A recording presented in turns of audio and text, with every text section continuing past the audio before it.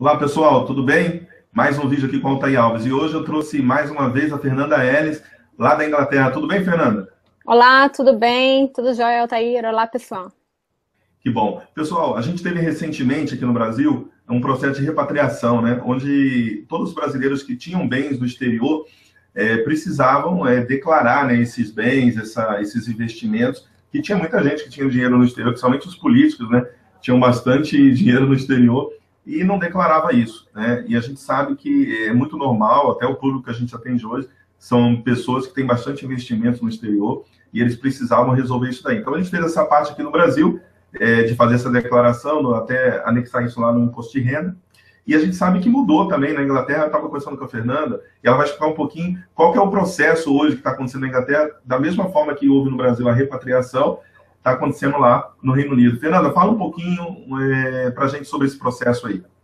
É, aqui na Inglaterra está uma coisa equivalente, chama Worldwide Disclosure Facility. Então, é um processo que está aberto até o fim de setembro para as pessoas que são residentes aqui na Inglaterra, mas nunca declararam patrimônio, rendimentos, né? Seria rendimentos que têm no exterior, para estar regularizando essa situação com é, o HMRC, que é o fisco inglês. Muitos brasileiros não sabem, mas a pessoa que reside aqui na Inglaterra, ela, só pelo fato de ser residente aqui, ela tem obrigações perante o HMRC, então ela deve estar ou optando por ser tributada de uma maneira diferenciada, que ela declara somente que ela ganhou na Inglaterra, mas ela perde algumas isenções iniciais, ou ela é tributada com base nos rendimentos mundiais, e isso leva em consideração rendimentos no Brasil, é, alguma empresa que ela tem no Brasil e ela recebe dividendos, coisas de maneira geral, ou mesmo um ganho de capital que ela fez no exterior.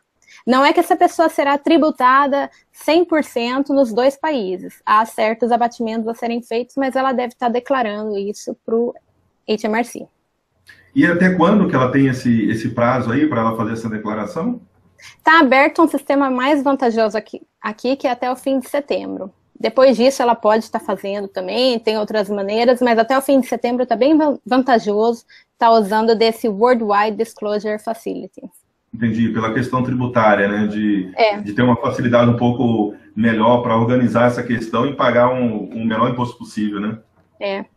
E é uma, é uma coisa que muitas pessoas não se atentam e muitas vezes ela até herdou, ela está aqui faz vários anos, ela acabou herdando alguma coisa no Brasil, então não foi geralmente não foi uma coisa que ela fez de propósito, entendeu? De não estar tá declarando aqui. Realmente, muitos brasileiros não sabem que há essa necessidade.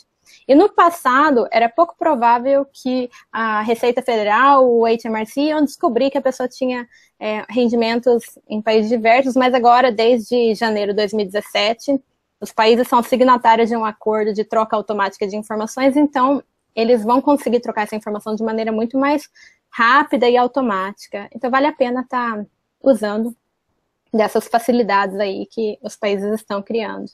É, e aqui no Brasil, a gente já tinha conversado já em alguns vídeos anteriores, que a gente tem a Instrução Normativa 1571, que instituiu a lei financeira, né? Ou seja, todas as transações é, financeiras de banco estão indo né, para a Receita Federal, como acontece na Inglaterra, como acontece praticamente hoje no mundo inteiro. Né? Então, esse acordo é, entre os países visa realmente um maior controle né, entre, entre as nações. E o governo, ele, às vezes, o contribuinte está muito preocupado, achando que o governo está focando só nele, né, mas tem toda uma visão macro, na verdade, em relação a essas transações financeiras, que hoje a gente não consegue mais esconder. Né? Então, é bem importante isso que você falou, porque não só né, a Instrução Normativa 1571, mas outras declarações. Hoje, por exemplo, aqui no Brasil, não sei como é que está na Inglaterra aí, mas no Brasil, todos os cartórios, por exemplo, de imóveis, transações imobiliárias são, são enviadas para a Receita Federal é, para a base de dados dela. A, todos os cartões de crédito, toda a movimentação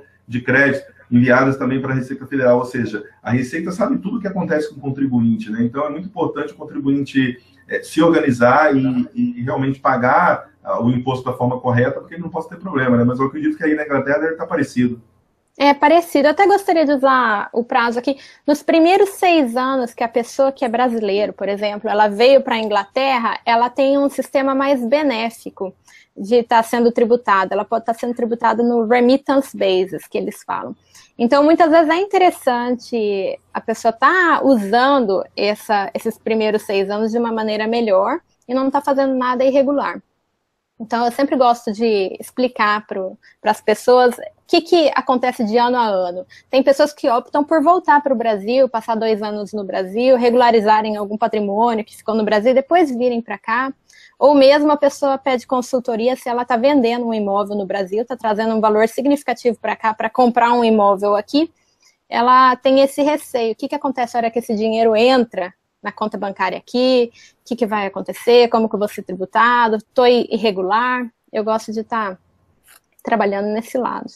É bem bacana, porque hoje, assim, a gente. É, é, você tocou num ponto bem interessante, né? Que é o desconhecimento. Eu acho que muitos acabam saindo do país, acabam indo para outro, outros países e não regulariza essa questão é, dele aqui de residência. Tem gente que não é residente no Brasil há muito tempo e não fez a saída definitiva, por exemplo, está como residente. Então, assim, tudo isso afeta na questão tributária dele e às vezes é por desconhecimento. Então, acho que esse trabalho que você está fazendo aí, o que a gente faz aqui de divulgar conteúdo, para ajudar as pessoas a pensarem sobre isso, é um grande diferencial, porque hoje está muito fácil né, o acesso. Você pode falar comigo aqui no Brasil, pode falar com você na Inglaterra, e a gente pode ajudar realmente essa pessoa a se organizar e a não ter problema. E nosso foco é proteger patrimônio, né? Então, se você faz negócio errado, até desconhecendo né, a lei, infelizmente a lei não vai ter você como inocente, né? Ela, é, acho que toda lei, quando ela é, é colocada em prática, entra em vigor, já é de conhecimento de todos. É uma obrigação do cidadão conhecer, né? Então é muito importante que é. ele conte com essa assessoria. Uhum. É, não, eu acho bem, bem interessante tá, tá ciente das mudanças. E também, outra coisa que eu acho legal, tá conversando com o contador, é que os blogs, tem muita informação em blog tudo isso, mas as leis mudam. Entendeu? Eu posso escrever uma coisa, escrevi o ano passado, então a pessoa pode ir lá no meu blog, ver e falar, ah, tá, tô tranquila. Mas as leis mudam. Então, se você está lendo uma coisa que é do ano passado, tá, ainda está em vigor, ainda é desse jeito, está trabalhando com uma pessoa que está seguindo essas mudanças que acontecem de forma tão rápida.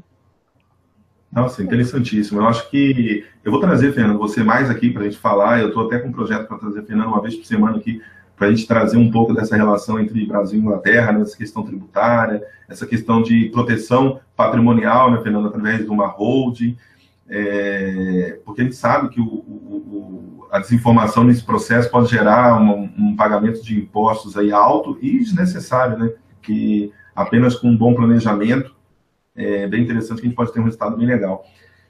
Fernanda, é, mais uma vez, você quer falar mais alguma coisa ou tranquilo? Não, é dessa. Tá, tá ótimo. ok. Então tá bom. Quero te agradecer, Fernanda, mais uma vez, né, pela disponibilidade. E vou deixar, pessoal, uh, o canal do YouTube uh, da Fernanda, aqui para vocês acessarem, ver os vídeos que ela detalha um pouco desses assuntos lá dentro do canal dela, e o blog também que ela tem, que ela escreve uh, alguns assuntos bem interessantes relacionados a esse tema e vai poder ajudar vocês a entender um pouco mais sobre isso. Muito obrigado, viu, Fernanda? Obrigada, até mais. Até mais. Tchau.